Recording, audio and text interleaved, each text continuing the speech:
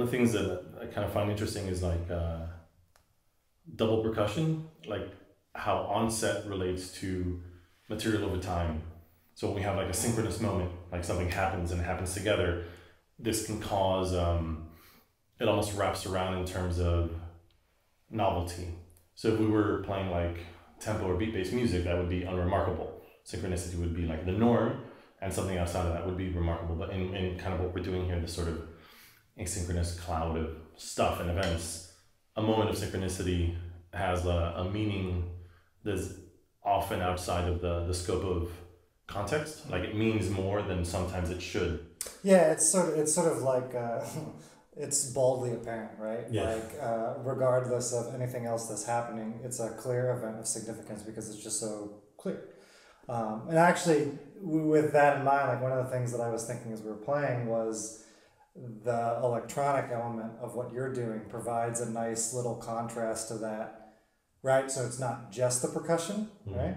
Um, but it's kind of orchestral in that sense, and it provides a sort of concurrent contrast so that those moments aren't as black and white, Mm. right? Yeah, there's something outside of also my control and also my ability to respond to context. So there was one moment, kind of uh, two thirds of the way through, where, where we kind of like nailed something, and there was Mm. there was a, a response to that materially. Like I think we both thinned out, we Right. both let things respond, and I think if I, I remember right, there was a kind of electronics kind of took over in there, which was nice. Like had that been me, it would have stopped too. Right. But the, the electronics don't doesn't care about this this thing that we're talking about, I guess. Well, and it, it, it allows us it, it allows us to make decisions that don't control 100% of the sound, right? Yeah. Like so at that moment we can hold it and it's not this sort of generic like pregnant silence necessarily, right?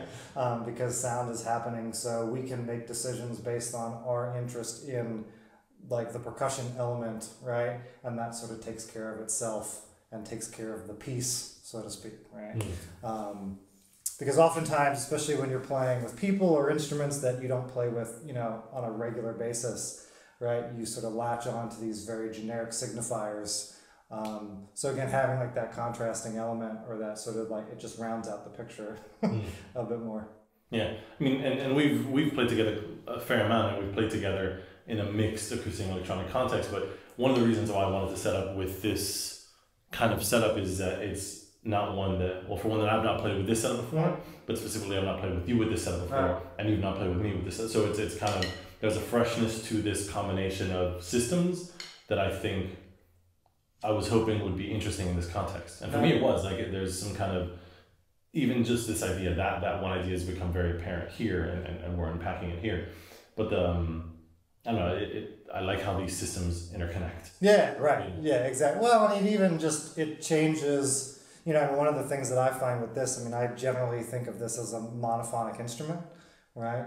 Um, and i having pl- th- this be my sort of primary percussive medium for the last 10 or so years i've sort of come by extension to think of percussion monophonically right?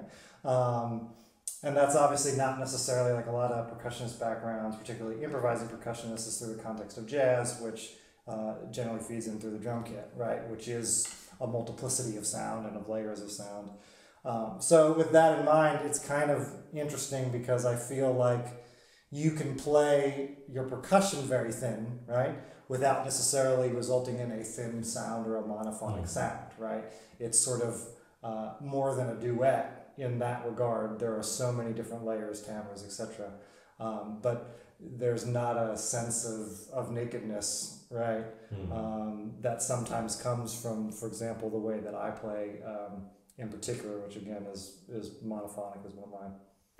yeah and, and, we did some playing yesterday but I, I guess when you're on the snare as well or i mean even a bit when you were doing this before there's a much bigger blur of sound source or even even material so like this monophony Yeah, to, to put together is um, still extends past the bodies. You know, like it, it's still a, a one Yeah. unit. Even Right, because it's it's resonating through a single object that sort of Yeah, covers yeah. everything, right? yeah. So here, it, it I we there is an inherent um, polyphony, Right. if if nothing more than because of like you having primarily metal there, and me primarily having I guess skin or or, or plastic, you know, like like Right. uh, less resonant surfaces, which somewhat was an intentional idea for me as well. I didn't want to have cymbals here. Yeah, for right. this setup to kind of set up a bit of that, and I think I don't works quite well. Yeah, well, I, I feel at Liberty, like I said, there are often times where, because of the, the thinness and the reliance on small details that uh, my playing generally leans on, um, there's some times where I feel an obligation to try to be thicker or fill more space, right? Which is just a psychological problem on my part. But with you were just so full and varied that I was kind of like I can do whatever, like you know. Um, so it's it's kind of freeing and it establishes a very sort of interesting like relationship, particularly in a duo context, right? Um, where your instrument, I mean, both our instruments to a certain degree are so unfixed, Yeah. right? So um, sort of widening and narrowing the amount of sound uh, that we're producing and the role that we're playing at a given time. Do you want to have another go?